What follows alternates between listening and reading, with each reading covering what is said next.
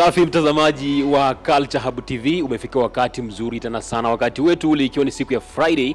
Kama kawaida ni ndani ya Sanaa Times, yani tunaangalia mambo na sanaa art. Tunazungumza na wasanii ambao ni waimbaji, wanenguaji na pia wachekeshaji, na leo katika studio tuko naye mwanadada mmoja ambaye ametrend sana katika mitandao ya kijamii. Huyu mwanadada yani kutrendi hapa Bungoma wanasema kutrendi, na ametrendi sana, anakuwa anachekesha, azungumza sauti ile none wewe msahulu. Yani nataka uangalie ule mdomo ambao unauonanga akikuchekesha hivyo, kama anakaa hivyo katika mdomo wake au iko tofauti. Mimi naitwa Papa Tony na niko na mwenzangu. Kwanza tupee majina yako kamili. Okay, naitwa Linda na Sambu Simiu. Yeah. Hebu sasa, Linda, hii kuchekesha kwako umeanzia wapi? Like mi nilianza um, comedy in 2019 but nilifanya fanya kiasi nikakuja nika chill. Mm, imekuwa last year ndo. Like unajua kitu kama iko kwa damu lazima tutaifanya so ndo last year nimeanza kwa serious. Pia chofri akanipiga support hiyo cf ya ndo nikaendelea nayo hadi padi nimefika sahii yeah. Unajua, unajaribu kuangalia unapochekesha hivyo, najaribu kuimagine life yako ya high school. Si umetesa sana walimu? okay mi high school nilifanya drama nimekuwa best soloist yeah. ni kitu nilianza kitambo ni kitu iko kwa damu talent Talent iko kwa damu eh? Sasa wakati unaigiza hivyo shuleni umeanza, ulikuwa una participate kwa michezo gani na gani?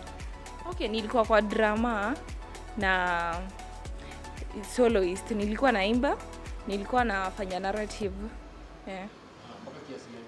hadi national yeah. Tushaenda hadi national mm, kuna mashida shida tu kiasi hizi za shule nini unaweza pata labda tuko sawa but unapata tumefinyiliwa hatufiki hiyo kiwango tulikuwa tunataka but tu, we were the best Like unafeel shule ungefanya more than you did, lakini vile tu sana nafasi labda zinakosa kupatikana. yeah, hii kitu inaitwa corruption eh?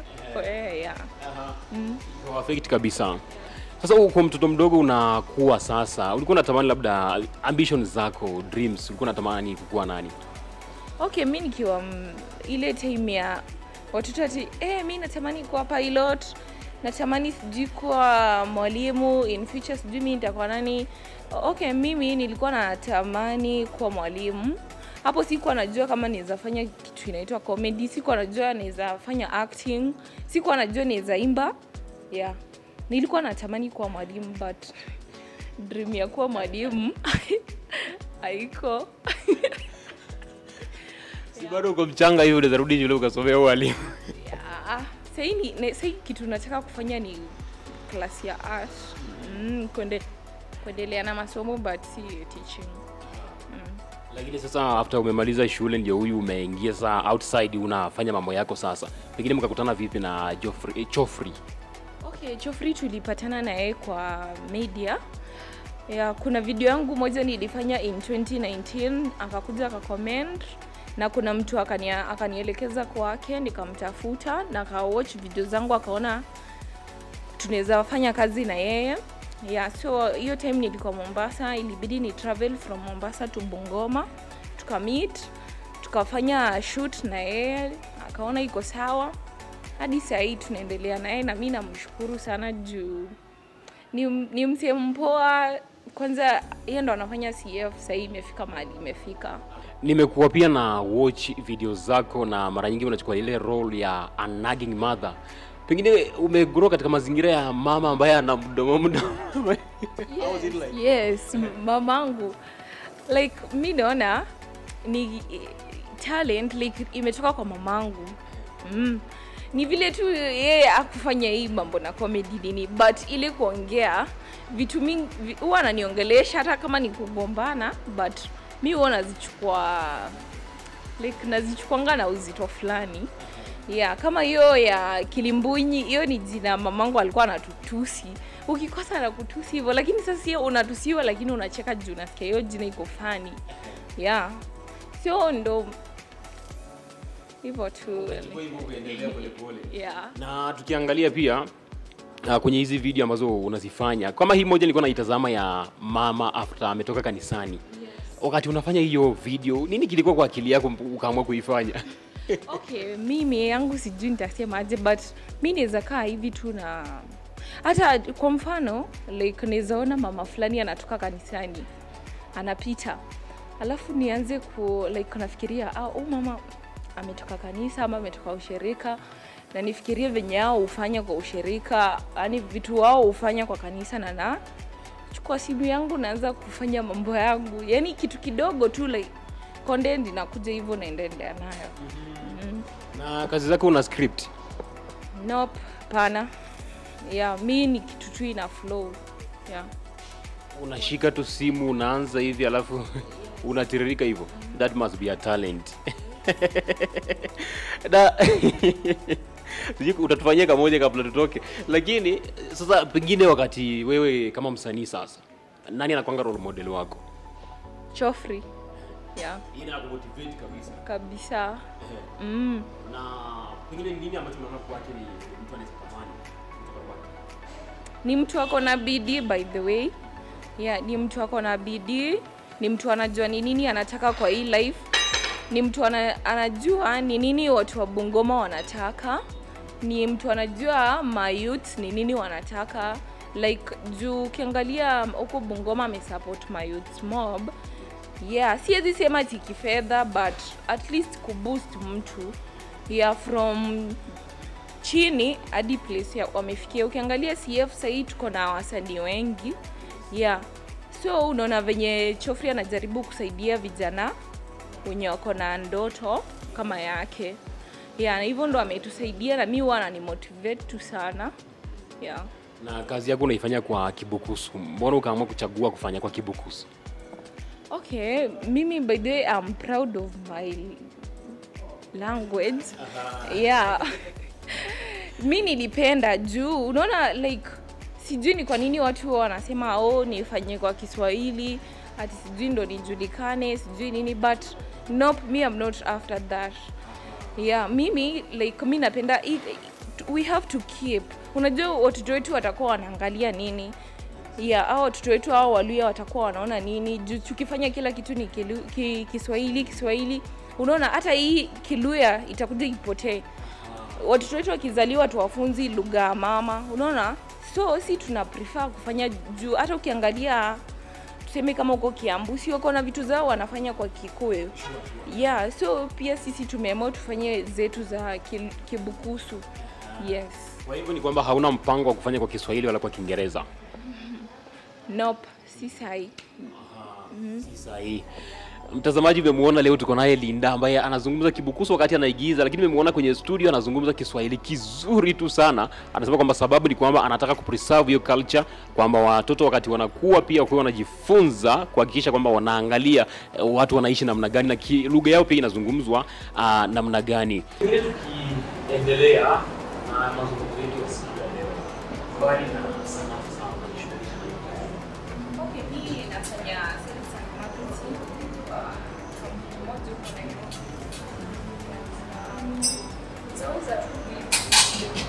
kutafuta unga. Ndio. Unatafuta unga. Yeah. Lazima tutafute tuunge unge pia sisi. Kabisa. Na pengine unataka kujiona wapi kama msanii sasa? Okay, mimi nataka kujiona kwa hizi ma show kubwa. Hizi mafilmu kubwa, at least tutoke unaona kama hivi kina Maria Sadaki Zora hizo yeah, na shughuli zetu tunafanya na kibukusu yeah, hivyo ndo nataka like tukiwa kama ngoma. Hata mimi nafurahi timu kama hiyo tunaweza kupiga mambo yetu pamoja sasa. That's nice. Na kuna issue kubwa sasa ambayo inahusu wasanii wa kaunti ya Bungoma. Mahali wamekaa wanajua kwamba serikali kwa wasanii, serikali na wanasiasa, wanasiasa wanawatumia vibaya. Pengine kwa mtazamo wako unahisi kama wasanii wanafaa wafanye nini wanapokuwa wanatumika ama serikali inafaa ifanye nini wanapokuwa wasanii? Okay, mi naona sisi kama wasanii tunafaa kufanya si tujibidi na pia by the way ufai kutegemea mtu kama unajua ni nini unataka kwa hii life mtu anakupea support but hata kupea full ile full yeah so pia unafaa ujue venye utajitegemea hiyo support ikupatie maendeleo juu because you never know promise ni mingi lakini matendo ya ni kidogo yeah. So like kama sisi kama wasanii by the way mtu kama mimi mi in camera yeah katika kamera but utapata huwezi make hizo hizo vitu nataka juu ya support hauna ya upande wa gava yetu no hadi collection eh utapata ile yani kusupport wasanii huku si vile hata kama wana support ndio hiyo pesa ikufikie ufanye kitu unataka. Ni changamoto. Si hata utapata mtu anakusupport hata si mtu akukagava yeah, ni mtu tu like ni tu sana. Na pengine unahisi kwamba serikali inafaa ifanye kwamba kwa mtazamo wako? Okay, unajua sisi nitasema aje, sisi like huwa na favor sana watu wa future. Sisi kama makomedian ama maartist au- au ma- watu wa kuimba nini like huwa watu savi sana. Tuna tunakwanga tumejitegemea. But utapata hao watu wanacheza futa unasikia sijui gava imewa sponsor sijui wameenda kucheza TZ sijui wapi but sisi inabidi uwatafute. Sisi huwa watutafute yani ama labda nyinyi watu kama nyinyi ndio mnafanya au watu wanapiga wanatutafuta. Okay. yeah so si ni ngumu by the way. Yeah si kitu rahisi. Yeah, ndio unapata si tunafanya artist to your passion.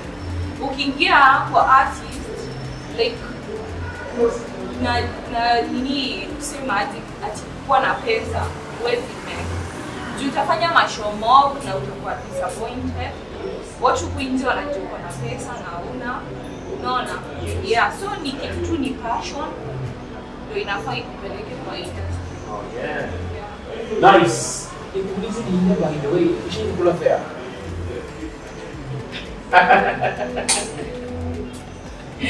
oh my god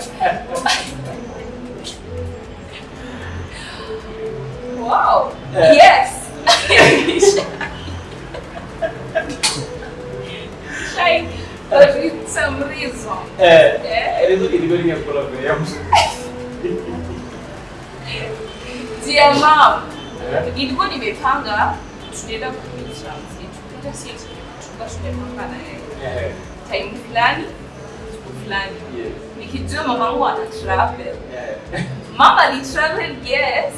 Na huyo alikuwa ashatuma kiasi mama ali travel na akarudi sasa hivyo tu ndo nilikula fare tusingeenda ndio form madadi ya hivyo si regret juu Ah, siwezi regret kula fare Eh. Eh.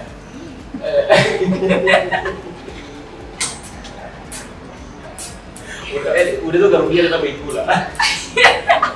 ah sasa sijai kula fare yangu Eh. Rahisi mapatano tu. Mm, kama haiwezi haiwezi yeah, si sidai kula fea yangu Eh, that's nice. Tukienda kumalizia malizia pengine uko advice kwa wasanii wa chama. Sana sana mademu, najua kuna vile unaingia kwenye predators ni wengi wanaume sana sana. Pengine advice tumia ile kamera moja kwa moja ueleze msanii mchanga. okay wale wa- wale wasanii wako na passion wanataka kufanya hii kitu mi tunaweza wambia hii nataka tu bidii uwe talented na uwe na passion yeah. uamue utaifanya ama utaifanya juu by the way mtu asiwaifikiria ati ukiwa celeb sijui unafaa tutuwe na pesa mob no mimi sahi by the way sahi ile mimi celeb najulikana hivo ngoma. Yeah but si ati ati venye najulikana akisaga ati mimi I'm rich. Yeah I'm not yes.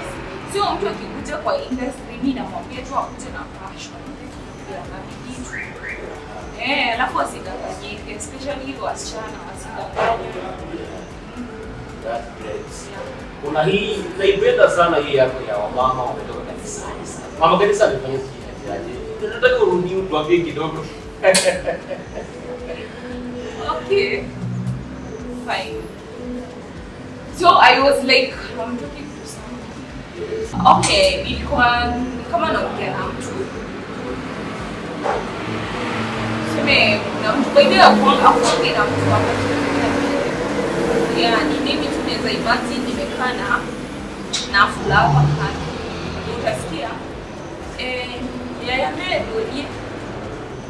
ta wengi badilika nalyabelewa dada judith lakini badili yako yandile kusakane bali mamakanisa kachile mchikoni ke mchakabona sakabatekhako sindu siyo sita nachako yasya kakasaliivukana yayi eh wena ungalivulai ndifana ate ekanisa niyenyakhana ate esitekho bindu anga seli bali bali ikanisa niyecha khuyila bikwaso wabene nono yaya alikho nende sindu mundu kathamba ata kumusuku kwakhwisindu kasakonye navula khutekhela ikanisa silasima tawe otekhanga noli nasyo ikanisa libukana emanjombo khwicha khusala munju eh khwicha khusala nefamili sabandu bali khucha khulyayo ta eyo nono wachile libukana nocha khwiwunja muchikoni mwabene sakhabatekha ta nochoko yasya kakasa likanisa livukana balebe ngali ngali balakholanga baryena chutiti ngalinywe balebe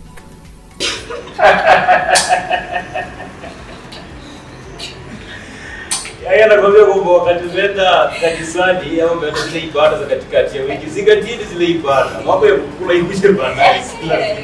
Yeah, mambo ya kukula ikuje baadaye. Kwanza hata kukula ni mtu ajitolea wapikie, si lazima.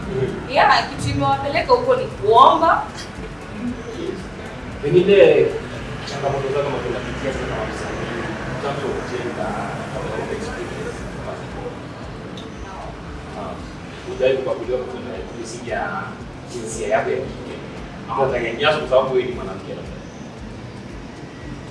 Labda. tu niweza nyanyaswa jueni mimi mimi kitu na- napitia utapata mtu juu aelewi ni nini nasema hawezi kusupport. Na hiyo kituo inaniuma sana. Sisi kwa hivyo si wote ni wa Kenya it doesn't matter huu mtu anaongea nini anasema but yeah, at least tu ameandika hapo ni artist. Msupport. Msupport. Hata mimi by the way mimi usupport hata wakikuyu na hata sielewi wengine wanasema. Unaona sasa ndio changamoto tunapitia. Tu Eh, juu ati mtu haelewi, unaongea kibukusu ama wewe ni Mluya, unapata mtu hawezi kusupport. Juu wewe ni Mluya, juu wewe ni Mkisii, juu wewe ni Mkikuyu, juu wewe ni Mkamba, unaona? Yes. Mimi nashukuru kuja kwako. Pengine tukimalizia maneno yangu ya mwisho mpango kwenda kumwambia mtazamaji pale. Okay, mimi nawaambia kama utachukua kura, ende uchukue kura. Yeah, election inakuja na kuna life after election. So watu wasikuwe careless. Mm, by the way mtafight, mtafight juu ya mtu fulani, sijui ati akue nani, juu ya mtu fulani, sijui akue nani. Utang'olewa macho hapo, na hao watu wakienda huko juu wanapatana, wanakunywa, wanacheka, na sisi huku tunapigana, tunauana, unaona? yeah. Yeah, sio watu wasikuwe tu careless kama wengine Yeah. asante. Pengine sasa mtu anataka kupata nida uende umchekeshi akiwa nyumbani kwake ama kuochi anakupata namna gani? Okay, kwa YouTube channel inaitwa Linda Simiyu, Facebook at Nasambu Linda, Instagram Linda Simiyu, TikTok Linda Simiyu. Yeah, Karibu unapatikana eh? yes. Mtazamaji, tulikuwa naye Linda Simiyu kwenye Culture Hub TV leo hii ndani ya Sanaa Times, tukiwa tunazungumza mambo na sanaa eh, kuhusiana na vile yeye anafanya kazi yake katika mitandao. Anachekesha sana, kwa hivyo ingia pale katika mitandao. Umesikia akikwambia kwamba katika mtandao wa YouTube anaitwa Linda na Sambu Simiyu pale, uende utafute channel yake, baadaye subscribe. Sio kuna kuna na ugumu ugumu fulani, yani tutakwambia tu subscribe kwa channel yake, hata kama upendi content for example wewe subscribe tu haita post anything alafu yanakuwa anainuka na kiinuka you never know where you meet tomorrow anaweza kusupport kesho na wewe pia. Ukainuka naitwa papa Tony. Kwa heri mtazamaji